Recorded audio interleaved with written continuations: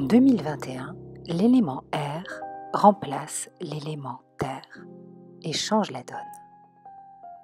D'une vibration capricorne, très terre, nous passons à une vibration verso qui fait circuler l'élément air et apporte un gros contraste. Sur le plan numérologique, 2020 était une année 4, statique, saturnienne, contraignante, limitante, répressive. 2021 sera une année 5, plus remuante, inédite, agitée, dynamique, électrique, révoltée, insurrectionnelle, alternative. En 2021, changement radical d'énergie. Ça pulse, ça secoue, ça explose, ça bouge enfin. Showtime. Bonjour à tous, bonjour à toutes. Bienvenue sur Astroéthique. Je suis très heureuse de vous accueillir dans cette vidéo dédiée aux énergies de l'année 2021. Alors, euh, ben, je vous propose qu'on ouvre un espace euh, de lumière, d'amour, de conscience, de confiance. Euh, je rigole parce que j'ai mon petit Pedro qui, vient se mettre à côté de moi, se lever alors que je... Ah mon bébé. Tu veux faire un petit coucou à la caméra? Tu veux dire bonjour? Allez, regardez, on va commencer dans la douceur avec mon petit Pedro. Voilà, mon petit Pedro. Je pense qu'il va m'accompagner pendant tout. Hmm, j'espère que tu vas être sage. Hein? Tu vas être sage Oui. Tu te mets dans mes bras Voilà. Allez, il s'est levé sur moi. Et voilà, on va pouvoir, euh, on va pouvoir démarrer. Euh, donc, je disais, on va ouvrir un espace euh, de douceur aussi, de bienveillance, pour accueillir les, énergies de l'année 2021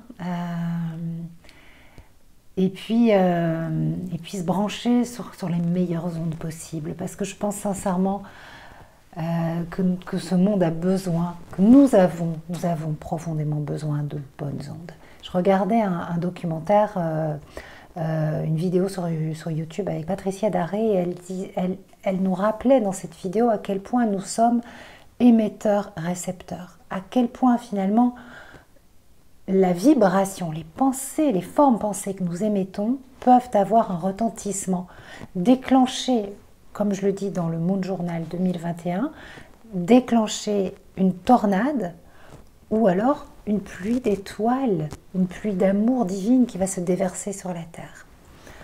Et donc, il me semble vraiment super important dans ce climat délétère actuel, au moment où je tourne la vidéo, donc le jour de la pleine lune euh, du 1er octobre, donc avec des, tensions fortes, où il va y avoir encore euh, des effets d'annonce importants, des revirements de situation, et où finalement on peut tout prendre avec un filtre premier degré et sans recul, et basculer dans des énergies euh, sombres qui nous divisent et nous séparent nous brancher sur, l'énergie la plus, la fréquence la plus haute et la plus lumineuse qui soit pour, que le meilleur advienne. Parce qu'il y a un changement qui se prépare, un changement important. Et, le changement, c'est pour faire autrement. Elle le disait très justement dans cette vidéo, Patricia Daré. Euh, mais, mais envisageons le meilleur. Envisageons le meilleur. Ça ne sert à rien d'envisager le pire. Parce que le pire, il pourra que nous surprendre, de toute façon. Alors, il y a un cycle astrologique inédit qui ouvre le bal de cette année 2021. Ce cycle, en fait, il se forme dès le mois de décembre euh, par une conjonction entre Jupiter et Saturne. Cette conjonction, elle se forme tous les 20 ans et elle est très en lien avec euh, euh, les bouleversements sociaux, sociétaux, euh, politiques. Hein, voilà, souvent, en fait, la combinaison euh, de ces deux énergies favorise un changement de règne. on, bascule dans une toute, toute, nouvelle énergie. Alors, ce qui est très intéressant, c'est que cette conjonction se forme dans le signe du Verseau, à 0 degré du Verseau. Et l'énergie du Verseau, elle a quelque chose de prométhéen. Hein. C'est le mythe de Prométhée. Prométhée, qu'est-ce qu'il a fait? Eh bien, il a participé au renversement de pouvoir.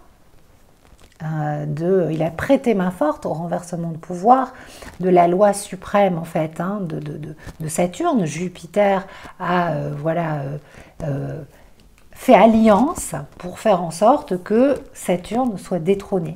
Je vous dis ça avec mes mots. Hein. Et, et, Prométhée faisait partie de, du complot, si on va dire.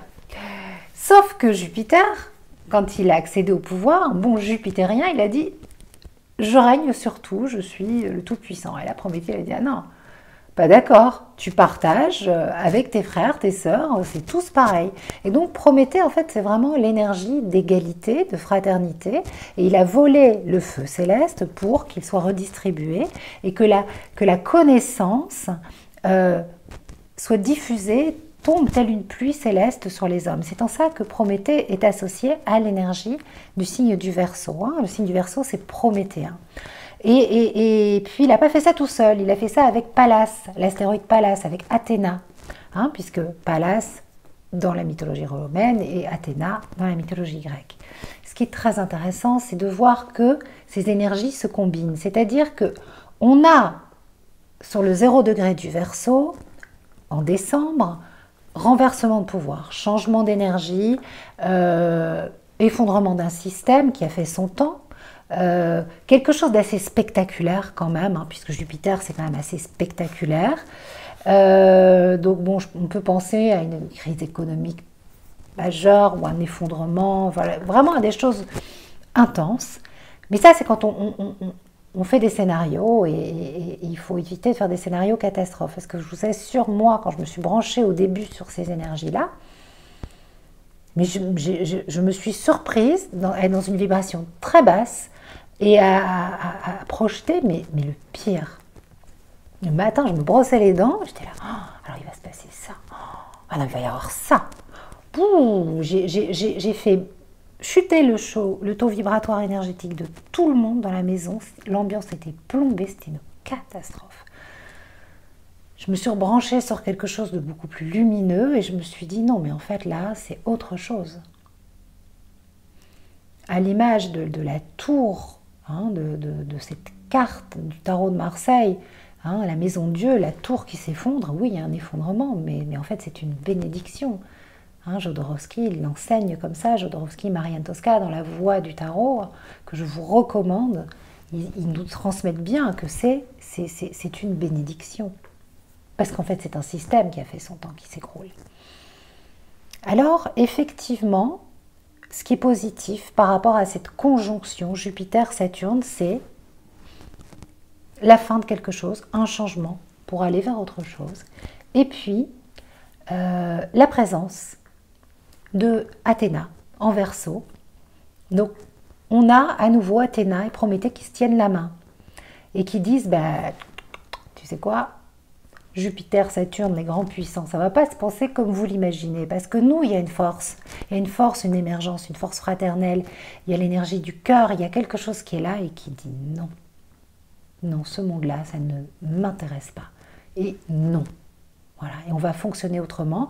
Et et la connaissance, elle est accessible à tout le monde.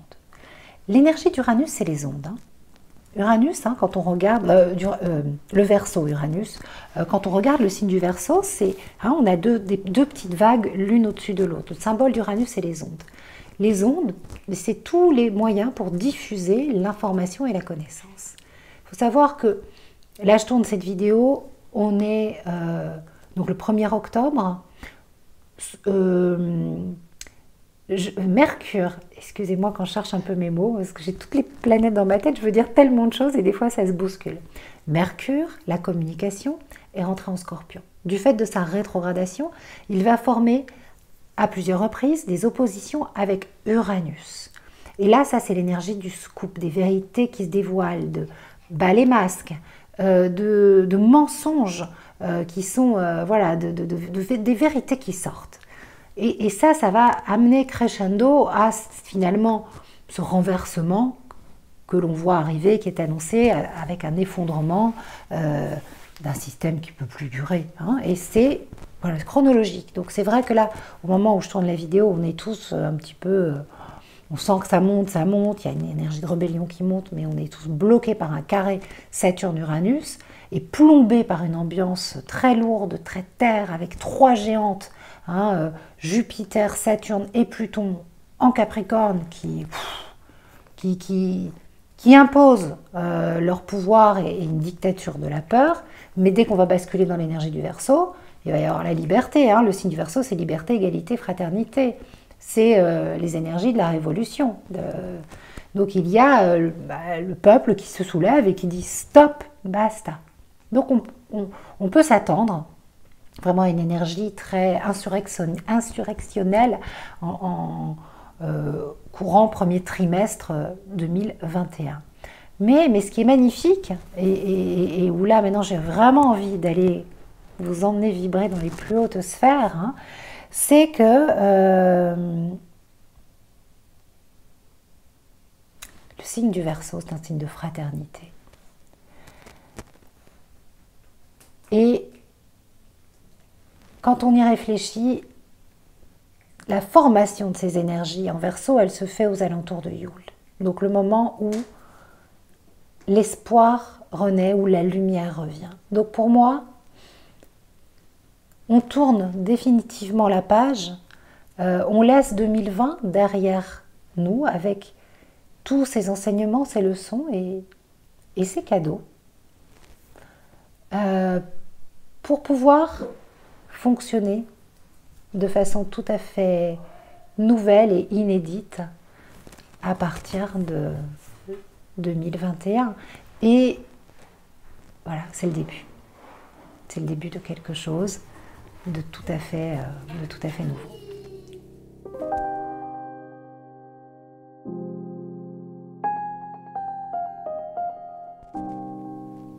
Si vous voulez bien, on va se brancher sur l'énergie du verso.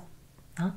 Parce que l'énergie du verso, c'est l'énergie de la fraternité, de la solidarité, des inventions, euh, des, des originaux. C'est l'énergie du, génie fou qui, euh, qui crée qui innove. Euh, l'énergie du, du, verso, elle révèle les iconoclastes créatifs, euh, des personnalités intenses qui favorisent un changement, un changement social. Euh, et puis surtout, elle nous rassemble, elle nous rassemble autour d'idéaux et de valeurs communes. C'est celle qui nous permet d'être de merveilleux co-créateurs, des frères et sœurs de lumière. et bien sûr, bien sûr, c'est celle qui nous rapproche de, de, Prométhée. Et Prométhée, il vole le feu céleste oranien au char d'Apollon. Et en faisant cet acte de rébellion, eh bien, en fait, il libère l'humanité de ses oppresseurs. Euh, c'est celle avec euh, laquelle on, se retrouve euh, entre frères et sœurs, en famille d'âmes. donc c'est celle aussi des coalitions, des groupes qui se forment donc elle nous invite malgré tout, comme il va y avoir des tensions, hein, l'énergie du Verseau est vraiment mise en avant hein, en 2021, mais il va y avoir des tensions entre Saturne, Jupiter d'une part et Uranus en taureau, hein, qui, qui crée des, carrés et des dissonances. Puis il va y avoir Mars qui se mêle à tout ça, donc il peut y avoir des, des factions, des divisions, le frère et la sœur qui se divisent, enfin préservons, sachant préserver notre unité. Là, je vous parle de l'énergie du verso dans sa vibration, euh, dans cette dimension euh, lumineuse.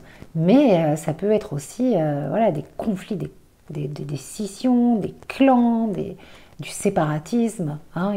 Il y a tout ça dans l'air. Hein. Le changement, il, se fait, mais malgré tout, il y, a, des résistances au changement. Et ces résistances au changement, on les voit dans le carré Uranus-Saturne.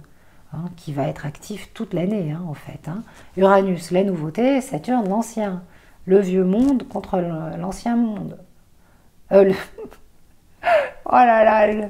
L'ancien monde, le nouveau monde. Le pot de terre contre le pot de fer, parce qu'en plus c'est dans des signes fixes. Hmm, donc beaucoup, beaucoup de résistance au changement. Et, et à l'intérieur de nous. Au fond, c'est quoi le changement? Changement, c'est un truc qui nous tombe dessus c'est uranien. Ça nous tombe dessus. Au moment où on s'y attend le moins, ça s'impose comme une évidence et ça vient répondre à une énergie qui est déjà inscrite à l'intérieur. Donc n'ayons pas peur du changement. Ce changement qui nous est imposé en ce moment euh, euh, où on l'appelle de tous nos voeux, où on le vit en se disant mais non, mais je veux rien, je veux tout garder comme avant, ça ne sera pas possible. On va être obligé de s'adapter, de fonctionner autrement, de, vivre sur cette terre autrement. Voilà, c'est terminé. On fait le deuil, on va être obligé de s'adapter et de créer, d'innover, d'inventer.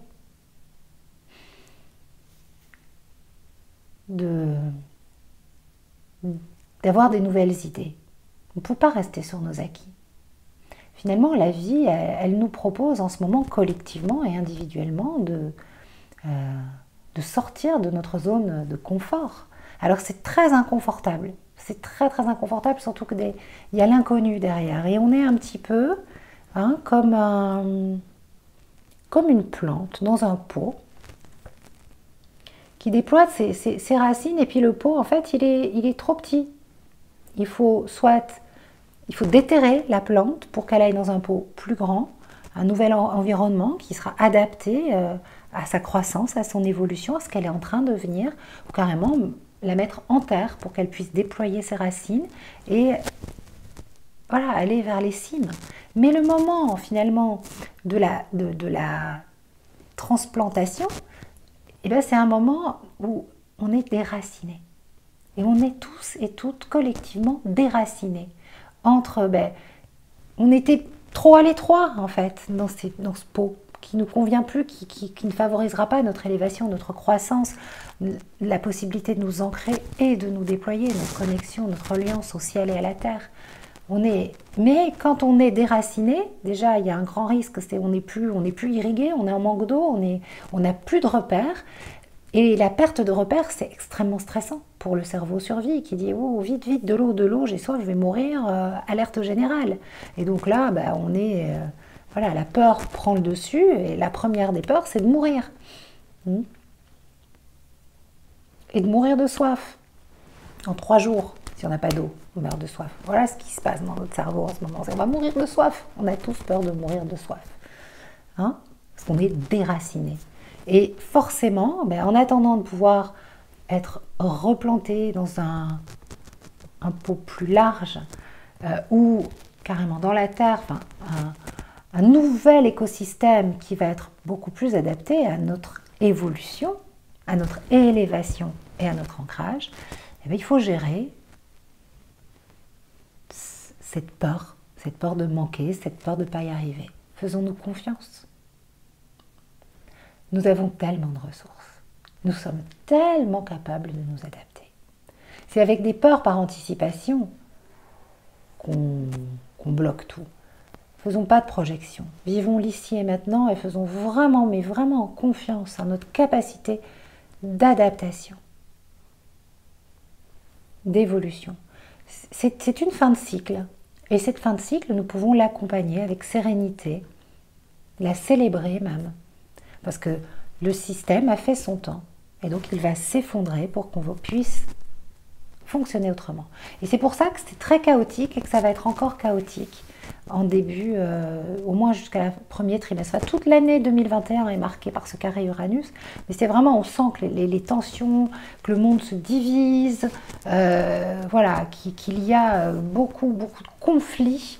Euh, janvier, février, mars, avril, hein, avec Mars en fait, hein, Mars, la planète Mars, hein, qui, qui va être prise dans tous ces carrés, ces oppositions et former beaucoup, beaucoup de de friction. Euh, euh, voilà, un état, euh, oui, un état de guerre. Hein. Mars, c'est ça. Hein. Donc bon, est-ce qu'il va y avoir une guerre civile et tout On peut faire toutes les suppositions. Je ne peux pas vous dire. Certains astrologues, si vous les écoutez, disent oui. Et puis, puis je ne sais pas si j'ai envie de, me brancher sur ça. c'est tentant hein, de faire des prévisions, d'essayer de voir, mais vous savez, c'est... Oh, c'est pas bon. Hein. Ça, surtout si on entretient la vision du pire, hein, je vous en ai déjà parlé. Donc pour moi, clairement, l'énergie du verso, elle, euh, elle a quelque chose d'instable au départ puisqu'elle est toute nouvelle et donc il faut, voilà, que ça se mette en place. Et en même temps, euh, elle va tellement, mais tellement nous humaniser, tellement nous fraterniser et tellement nous permettre de nous relier les uns aux autres. D'autant plus que Jupiter va parcourir, va s'éloigner de Saturne, avancer dans l'énergie du Verseau pour aller vers le Poisson très vite et revenir. Donc est déjà chercher l'énergie du, Poisson qui est une énergie d'amour hyper forte et, quelque part déjà nous préparer à, l'après, à 2022 et à cette vibration, mais d'une bienveillance extraordinaire et, profondément, euh, profondément humaniste. Donc moi j'ai foi finalement en ce, courant, ces, courants d'ondes euh, qui, qui qui vont compter eux aussi. Ok, il y a effectivement ce que les médias vont nous faire voir en mode showtime. Il y a, il y a la réalité derrière ce voile médiatique, ce voile des illusions. Il y a une réalité concrète avec des gens qui œuvrent au quotidien pour un monde meilleur et qui vont être de plus en plus nombreux. C'est pas une utopie, c'est vraiment quelque chose nous allons pouvoir être cette lumière. Et clairement, le verso, il bouscule les idées reçues. Il fait autrement, de façon totalement indépendante. Il s'émancipe. Il conteste les abus, mais ça fait circuler des idées inédites et des inventions géniales et, vraiment, euh, voilà.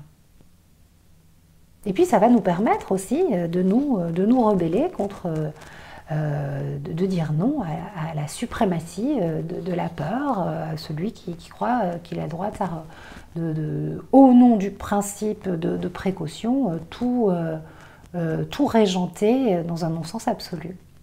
Donc voilà, ça, ça va être très intéressant aussi.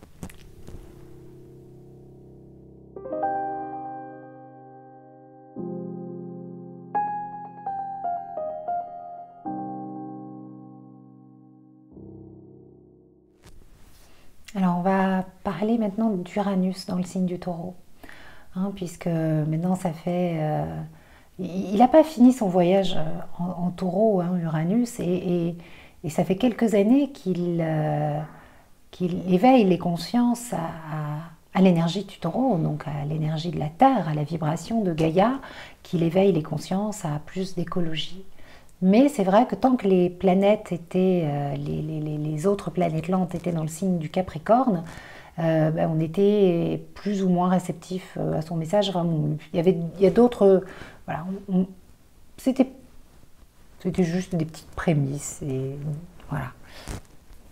là, ça va devenir une réalité parce que comme Saturne et Jupiter rejoignent le signe du Verseau, Finalement, ben là, on voit bien que euh, le signe du Verseau, c'est le signe de la planète Uranus. Uranus est en domicile dans le signe du Verseau.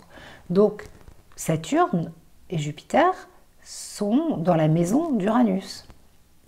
Donc, au service d'Uranus.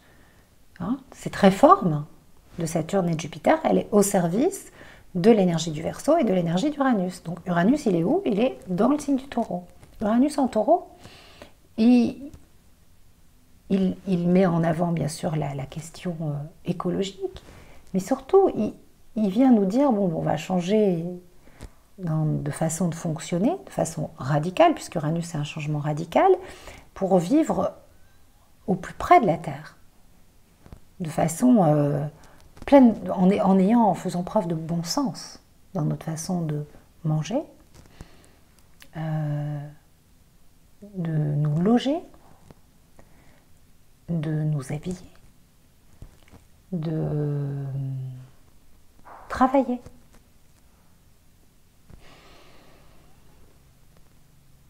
Il nous invite à, nous relier à Vénus, à Aphrodite.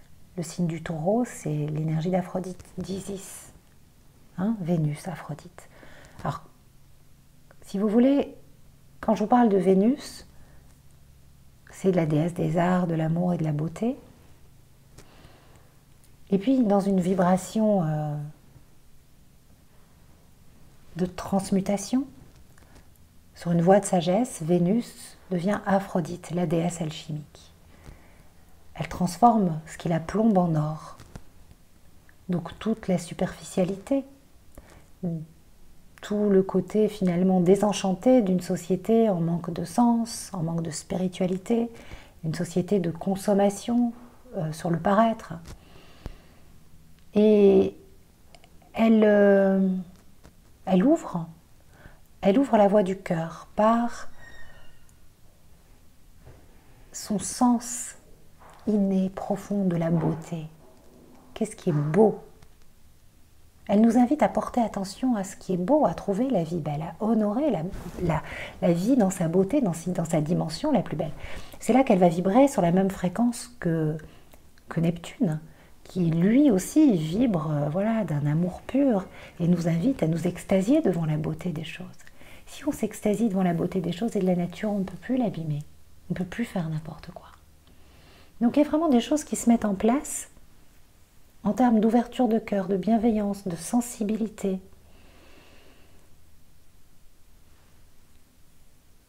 Je pense que le mot, le mot bienveillance est vraiment le mot euh, le, plus juste. D'ailleurs, Patrick Gianni en parle dans l'astro-interview euh, qu'il a eu la gentillesse de, refaire cette année hein, dans le Monde Journal édition 2021. Et je lui demande les trois mots-clés pour lui. Euh, quels sont les trois mots-clés de cette année 2021 euh, Et parmi ces trois mots-clés, il y a le mot bienveillance. Mais oui, mais oui, bienveillance. C'est la fréquence sur laquelle l'Uranus l'éveilleur nous invite à vibrer en allant à la rencontre de cette Vénus Aphrodite, hein, transcendée, sublimée. C'est la fréquence de l'énergie fraternelle des Verseaux. C'est la fréquence de Jupiter, Jupiter, planète de bienveillance, qui va rentrer, faire un premier coucou dans l'énergie des poissons, revenir pour repartir en 2022, aller vibrer très fort en poisson, signe de bonté, de grâce. À quoi bon vivre notre vie sur Terre si nous ne sommes pas capables de, vivre, de, nous, de profiter de cette magie et de cette beauté? Quel sens donner à notre vie s'il n'y a pas cette grâce, s'il n'y a pas cette connexion au monde vivant? Si quand on se balade en forêt, on, on, vibre pas l'énergie d'un arbre, on les sent, on sent, on se met sur les racines, on sent leur intelligence. Leurs palpitations, ils ont tellement de leçons à nous enseigner. Et, finalement, Uranus, il, nous connecte à l'intelligence des arbres. C'est une métaphore, mais cette intelligence, cette intelligence des arbres, elle vient nous dire tellement de choses sur ce que sera demain, sur ce futur que nous sommes en train de vibrer, de co-créer, que je vibre avec vous là en en parlant. Donc il va y avoir de merveilleuses choses à faire. Et ensemble, alors, ensemble, mais ça va nous demander d'avancer sur un. de continuer, de, cheminer encore sur, euh, sur notre chemin, sur une voie d'unité. Et ça, c'est équilibrer nos polarités masculines, cette danse du masculin et du féminin à l'intérieur de nous. Et on va conclure avec, euh, avec ça.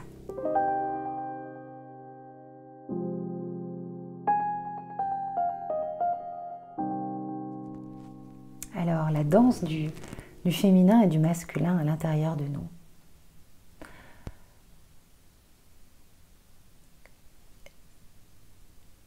Nous, avons, nous, avançons tous et toutes sur un chemin de conscience et de lumière vers, plus d'unité, vers plus de, beauté. Et je pense que nous avons mais profondément, profondément, au fond de nos cœurs, besoin de, de paix, euh, d'amour, de tendresse, et c'est ce que nous souhaitons goûter le plus. Et, quand nous nous relions à notre âme, eh bien c'est ce qu'elle euh, ce qu'elle nous permet finalement de vivre comme expérience.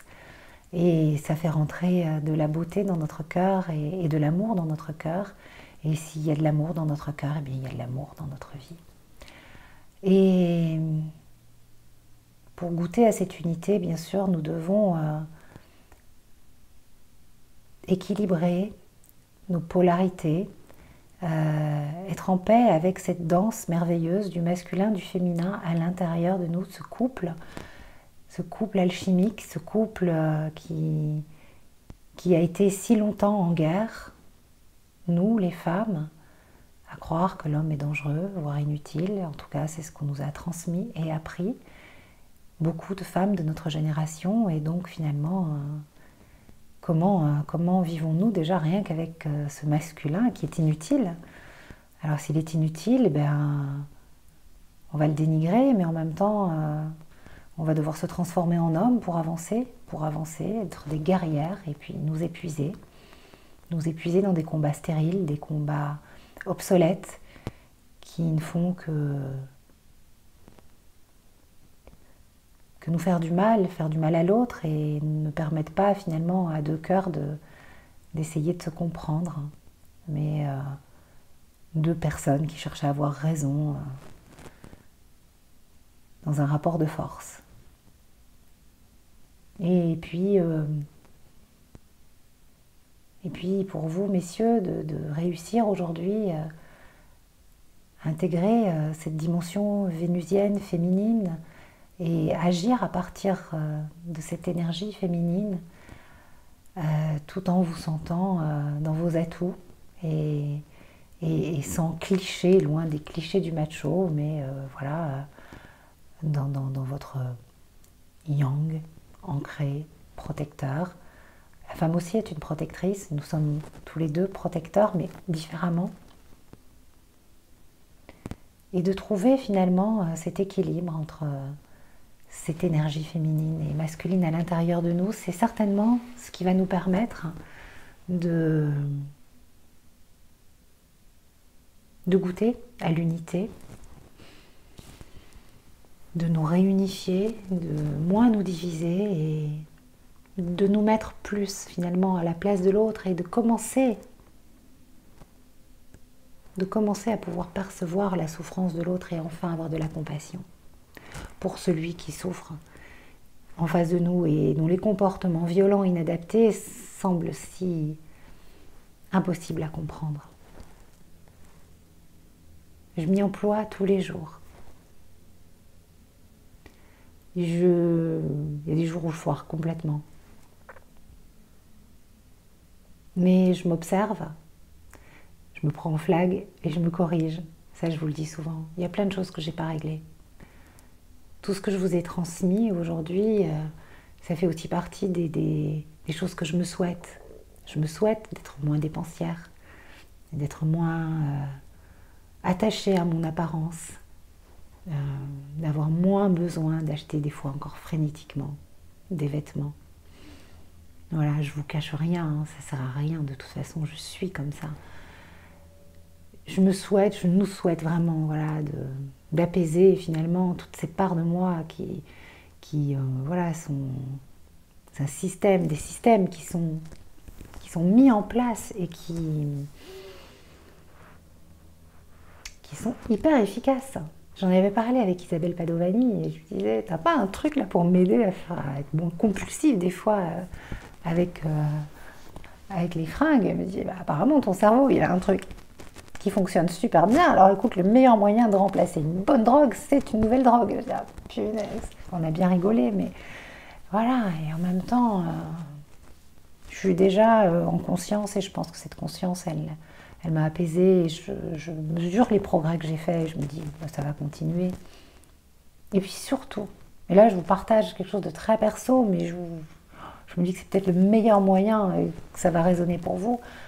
Je fais en sorte de plus me juger. Parce que si je me juge, je me condamne, je passe en prison. Et alors là, je vous assure, la culpabilité, il n'y a rien de pire.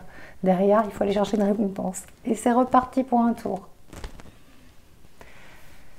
Donc, beaucoup de douceur, de bienveillance envers nous, envers euh, nos comportements, envers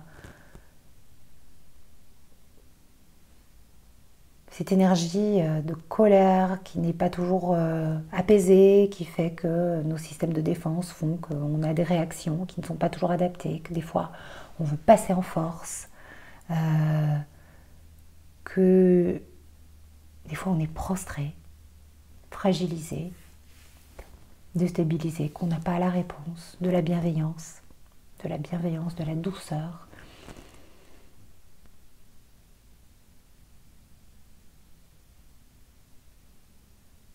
Et puis du, de la confiance, du courage, de la dignité, mais de la confiance, de la confiance en nous. Faisons-nous confiance et faisons confiance en notre capacité à rebondir, à nous adapter. Écoutez, voilà, je suis euh, vraiment heureuse d'avoir pu euh, partager euh, jolies petites choses avec vous, avec, voilà, avec, j'espère, générosité, simplicité, enfin voilà, je en tout cas moi ça m'a fait du bien de, aussi de me livrer un petit peu plus comme ça. si vous souhaitez en savoir plus, je vous invite à hum, ne pas tarder à commander sur Astroéthique le Little Moon, le Moon, les offres. L'année dernière, j'étais en rupture de stock. Et je crains que j'étais en rupture de stock 15 jours avant Noël.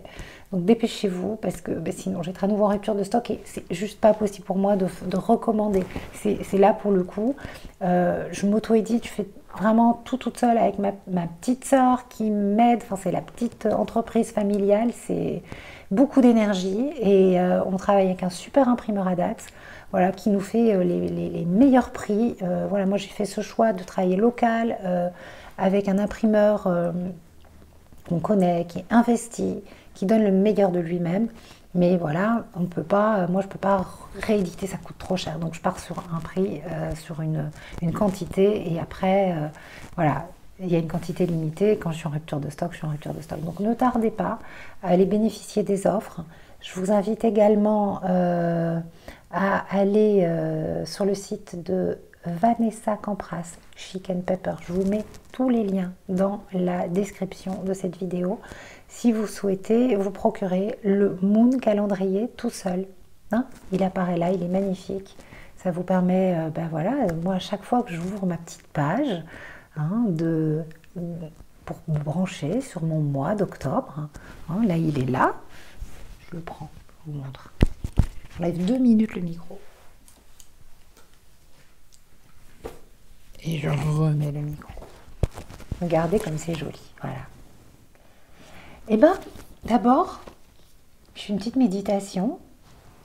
Et je juste, mais l'image, comme elle est belle.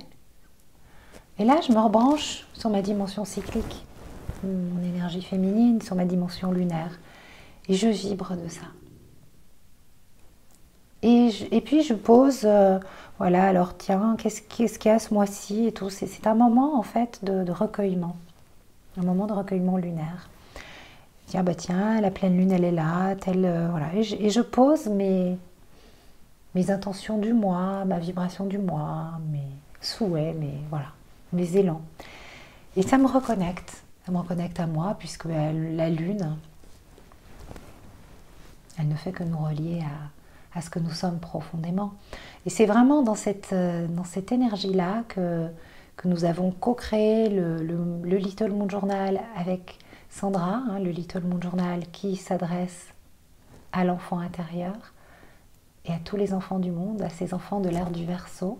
C'est un doudou des étoiles qui vous permet de vraiment euh, vous connecter à la magie lunaire sans, sans avoir de connaissances astrologiques trop profondes, c'est vraiment le petit cahier euh, avec lequel vous allez euh, voilà, vibrer toute l'année, euh, que, quel, quel, que soit votre âge. Puis il y a des mandalas coloriés. Enfin, voilà, c'est le doudou. C'est le compagnon étoilé. Et puis le monde journal, cette année, je l'ai voulu plus, plus épuré. J'ai vraiment eu envie d'aller à l'essence, d'aller contacter l'essence. Donc vous avez les 24 lunaisons qui sont beaucoup plus détaillé que d'habitude, avec euh, des voyages, de merveilleux voyages euh, sensoriels pour chaque nouvelle lune, où on va ouvrir un portail de lumière à chaque nouvelle lune. Et euh, voilà, et donc le Moon Journal, c'est chaque fois qu'il y a un aspect important dans le ciel, bah, vous avez rendez-vous avec son énergie, avec sa vibration, et vous pouvez vous y relier dans sa vibration la plus élevée et, et puis ben, vous avez des espaces pour voilà, vous laisser inspirer, noter vos intentions et noter comment vous souhaitez vibrer avec cette énergie. Euh, moi, mon, souhait aujourd'hui, c'est de euh, continuer à partager avec vous comme je le fais là sur Astroéthique pour chaque lunaison avec euh, les audios sur YouTube et puis dans, différents podcasts. Donc tout ça, je suis en train de vraiment le mettre en place. Et puis qu'à chaque lunaison, euh, je puisse vous proposer, euh, donner des outils énergétiques, des outils euh, de transmutation, de connexion des vibrations élevées, voilà, de, pour ouvrir, pour activer, hein, activer les, portails en fait, hein, les portails, les énergies, activer l'énergie de Vénus, activer l'énergie d'Uranus. Voilà, donc je, vais être entourée d'une belle équipe de lumière pour vous proposer tout ça et ça c'est vraiment ben voilà, la suite. Là, la structure, l'arbre, la base est posée dans le Moon Journal. Et, euh, vous pouvez la commander dès maintenant. Euh, et puis ensuite, ben, il y aura toute une proposition euh, dont l'essentiel sera vraiment gratuite hein, sur Astroéthique. Peut-être quelques méditations payantes parce que voilà, il faudra que, que j'englobe voilà, des coûts. Mais la plupart, ça sera vraiment à disposition pour créer ensemble ce beau, cet égrégore d'amour, ce collectif de lumière. Voilà. Alors, on va s'assembler à d'autres collectifs de lumière, en fait. Je n'ai pas la prétention de créer toute seule un collectif de lumière. On va ensemble, lumineusement, c'est des égrégores d'amour, d'amour qui vont prendre beaucoup, beaucoup. Allez, je vous fais des gros bisous et je vous dis à, bah, bientôt pour d'autres vidéos. Ciao